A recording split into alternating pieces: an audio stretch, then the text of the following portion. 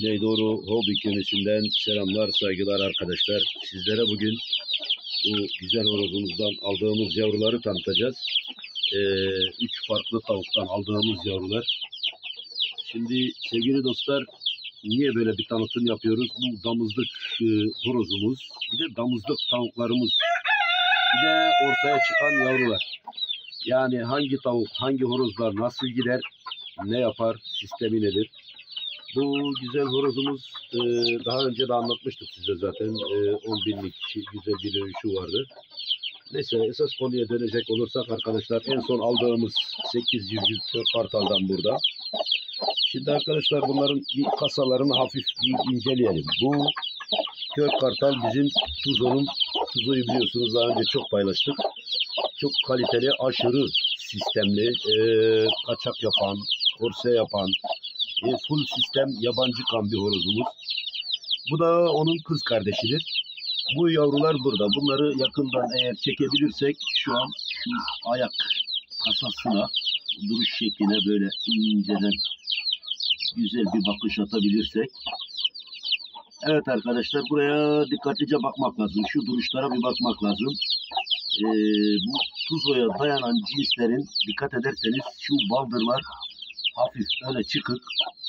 Güzel bir kasa, güzel bir duruş. Sırtları da falan dik duruşları e, asellere göre çok daha dik, e, biraz daha bilmiyorum. Fantastik yani Hint honduruzunu güzel andıracak bir şekil var. Ama esas mesele şimdi kömüre geleceğiz. Kömürün yavruları esas olan. Şu arkadaşlar, şu beyaz tüylü olanlar, bir de ayağında kelepçe olacak olanlar. Onları bir sıkıştırayım bir yerde. Şöyle gelin bakayım yavrularım. Heh. Şurada arkadaşlar şu ayağındaki kelepçe olana bakınız. Arada 4 gün fark var. Şu öndeki sarı kelepçesiz. Bu normal bizim e, şu tavuğun yavrusudur. Ama öbürü şu ayağında hemen arkasındaki şu ayağında kelepçe olan 4 gün daha büyük tamamdır. Fakat şu ayak kasası çok farklıdır arkadaşlar. Gerçekten aşırı bir fark var. Duruşta fark var.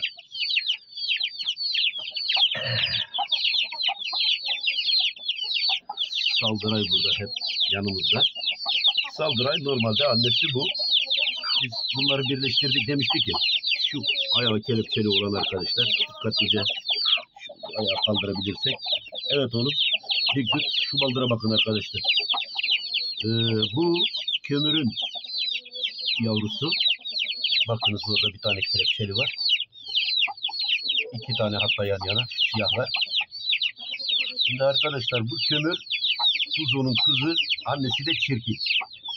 Biz bunlara ciddi bir yabancı kan kattık. Bu yabancı kanda ne gibi bir değişiklik? Bu da mesela kömürün çocuklarından. Şu burada kamerada düzgün görünmüyor. Duruşa, ön puzzle'lara baktığımız zaman dediğim daha rahat anlaşılacak ama güzel bir çekim olmadı galiba. Sevgili dostlar, burada anlatmaya çalıştığım e, Tuzo'nun kızı acayip bir kasaya sahip zaten. Horoz gibi bir şey zaten. Horoza tutuyor, gelene gidene tutuyor. Çok hırçın, çok acayip bir tavuğumuz. Çok güzel bir tavuk. Yavruları da çok şahane çıktı. İnşallah artık ileride bunları deneme fırsatı bulursak eğer yaşarlarsa çok güzel olacak. Ee, bu sevgili tavuğumuzdan zaten yaklaşık hemen hemen 4 yaşına girmek üzere.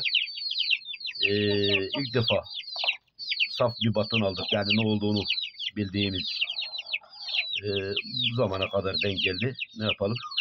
Şimdi sevgili dostlar aslında civciv küçüklüğünden beri doğuşundan beri kendini gösterir. Burada bu siyah tavuğumdan beğendiğim aslında sadece şu açık renkler oldu açıkçası. Fakat öbür kömürün attığı yavrular çok farklı bir şey oldu. Bu da mesela kömürün yavrusu. Bir aylık ee, yani çok güzel bir duruş sergiliyor. Herkesin kümesine starlar da olsun inşallah arkadaşlar. Sevgiyle kalın. Üç farklı tavuktan almamızın sebeplerini daha önce ben size anlatmıştım zaten. Yavrular gerçekten farklı çıkıyor. Baba aynı olmasına rağmen annelerden dolayı kimin daha iyi olduğunu ortaya çıkaracak bir plan kurduk. Bir bakalım. Deneyeceğiz her birinden birkaç tane birkaç tane besleyip göreceğiz arkadaşlar. Şu an bu yavruları gösterdik. Şu güzel sarıdan. Hadi sağlıcakla kalın.